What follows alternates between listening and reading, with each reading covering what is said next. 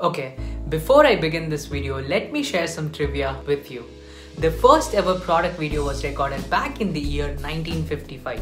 It was a 70 second TV commercial for Gibbs SR toothpaste, which was also the first TV advertisement for British commercial television. Hi, my name is Josh. I am from the team of VMaker and in this video I will be talking about product videos. Make sure that you stay tuned till the end because in this video you will not only be learning about the meaning and types of product videos but also how to create a product video with zero dollars. And finally, the 5 most important tips to make the most efficient product video.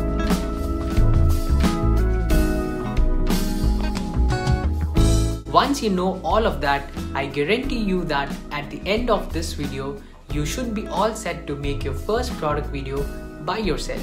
So let's dive in, starting with the basics. What is a product video? A video made for your product is a product video.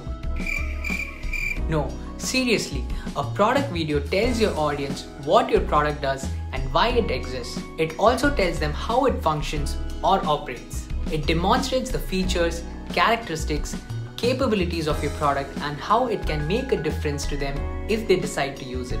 Let me give you a quick example here. If you're selling a car dent repair kit, your product video should typically show how to use the kit, what are the steps to be followed, and how the dent gets removed using your kit. I know that you must be thinking, huh?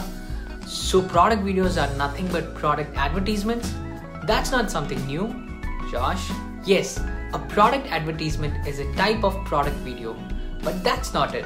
Product videos can be made in a lot of different ways. Back in the days, product videos were made only for selling products. But now, product videos are important for marketing, customer success, and audience engagement too. Product videos changed their avatar during the 90s when software companies started making their mark. This trend got a bigger push in the 2000s when software as a service companies, popularly known as SaaS companies, started flourishing in the market. Using software can be complicated, hence, companies started making videos in different forms to help their users use the software. This gave a bigger shift to product videos from using them only as commercials for SaaS companies to using them as an integral part of user journey. This is exactly why this video is so important. If you are a software business owner or a marketer, this video can serve as a guide for making product videos in the easiest yet most effective way. Oh wait, if you have a prototype of your physical product, this video should come in handy for you as well. Product videos come in different forms and while one may be relevant for one business, the same might be irrelevant for others. Having said that, you can still pick up some of the most popular types of videos that are commonly used. Let me quickly share 4 of them in this video. Product demo videos. Product demo videos are personalized videos made by the support and sales team. Most of the time, they're used to give a quick outlook of the product to a prospective customer. So a product demo video with a webcam recording sent along with an email can do a great job in piquing the prospect's interest. Product walkthrough videos. Product walkthrough videos are similar to demo videos but are more detailed. It's like going into depth unraveling every feature of the product and explaining different workflows to tell your customer exactly what your product is capable of doing. Feature release videos. Companies are constantly working on adding new features and enhancements to their products. One good way of telling about it to the world is by making videos. So, in a nutshell, feature release videos are a form of product video that specifically talks about a single or only a couple of features. Product tutorial videos. Tutorial videos are learning videos that help viewers take action. So, a video explaining how to sign into your account, how to make an invoice, or how to see the task assigned in your name are examples of a product tutorial video. Alright, I have been talking for a while now, so let's switch things up. In this part of the video, I will be showing you how you can make all the above videos in just 4 simple steps.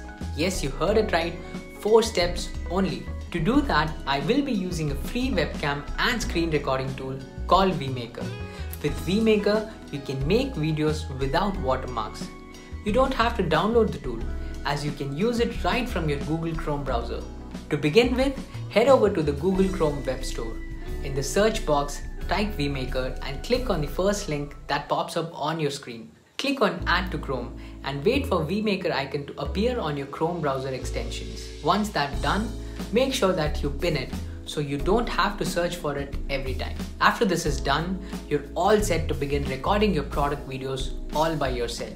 Step number one, recording your screen and webcam. Click on the vMaker Chrome extension. After the app loads, click on the screen and webcam recording option. Make sure that the camera and microphone access are turned on. Then hit the start recording button. As soon as you do that, you will see your face along with the screen content. From here, you can record whatever you have on your screen and speak at the same time to explain what is happening. This type of recording is an excellent choice for product walkthrough videos because your prospective customer can see your product on screen recording, see you which is good for personalization and hear your voice too. Lastly, if your walkthrough video is only for a particular feature, then try to keep it under 3 minutes. That's the sweet spot. If it's a complete product walkthrough video, then try not to cross the 30 minute mark. Step number 2 adding filters, customizing backgrounds, and annotations. When you're recording, you might forget to check the background. A lot of times, even good content creators make the mistake of having a poor background in their videos. At vMaker, we are working on this functionality of customizing your background in videos as per your taste. It will be launched soon, so I will be making a separate video on that very soon. On top of this, you can use the annotations feature to highlight specific areas in the content. This is an awesome feature for product demo videos because comparatively they are quicker than walkthrough videos. By annotating places, you can get your viewers' attention at the right places. Step number 3 Start editing. Now we are in the post production phase. Your recording is complete and it's time to make it sharper. Let's assume you have a tutorial video to edit. You can trim the length of the video, zoom in at the right places and even rotate the video if you want to do it. But tutorial videos can get boring. So to make things interesting, you can upload external video or audio. This works great if you're planning to upload a video on YouTube.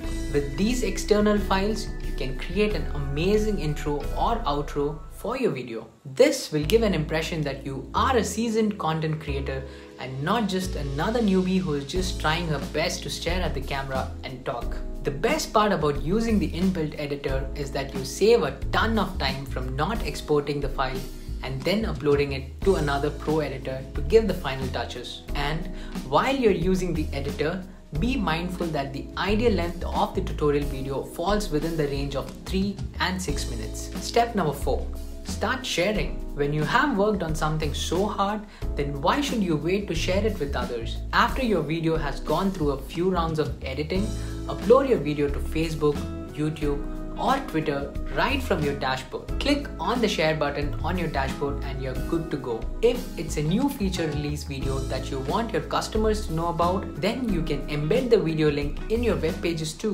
We have come a long way in discussing product videos, but it's not over yet. As promised, here are a few simple tips to make your product videos great. Make your product videos relevant. Before you start with anything else, take into account the customer's pain point. Think about your target audience and how your product will make a difference in their lives. Start writing a script to get a good head start. Scripting will help you decide the flow of your content and what are the different areas that you want to cover in your script. Don't worry, you will probably not get it right at the first attempt. Not a problem.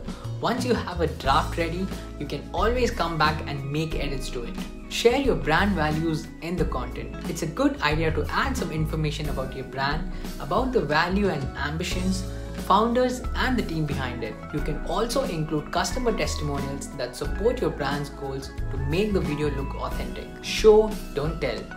That is the most fundamental part of product videos. If your product can do things faster and better, show it to your audience. Telling is fine, but showing your product unraveling miracles in a video is at a whole new different level. And lastly, leave a call to action. You don't want your audience to leave without taking action. To help them do that, share contact information or at least tell them to like or share the video so that they can be in touch with you for a long time. So that's it. That was all about product videos. what are the different types, the best way of making them when you're on your own, the best screen recorder, and simple tips to improve the quality of your product videos. If you liked vMaker, make sure you install the Chrome plugin from the Chrome Web Store. You can also check out other exciting videos in this YouTube channel. We also conduct weekly webinars on video making, content creation, and marketing. You can register on our webinar page. I will share the link in the description. Till then, take care. This is Josh signing off. Goodbye.